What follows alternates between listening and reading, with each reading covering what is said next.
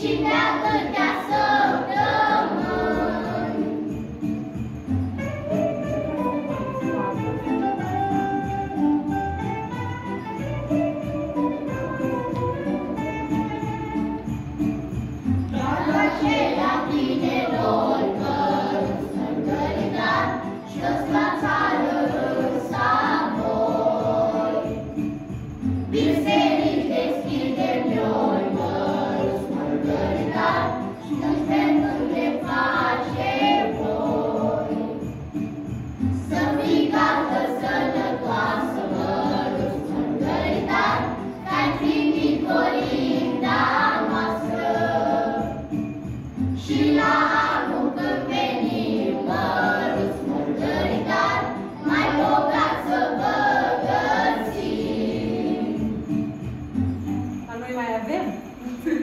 Mas a gente pensa que é